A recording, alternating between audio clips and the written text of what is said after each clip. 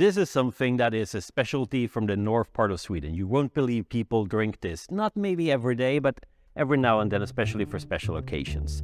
So this is beaver anal gland vodka. You slaughter a uh, beaver and you cut out the anal gland. It's this one right here. You soak it in either homemade alcohol or in vodka for a couple of months, two, three, four months until it takes this kind of amber color. Um, and it takes on a smell that is like pine, a tar, wet fur. And if we taste it a little bit, it tastes a bit like the forest. It's very harsh, kind of burns your tongue just a little bit, but you can definitely learn to appreciate it.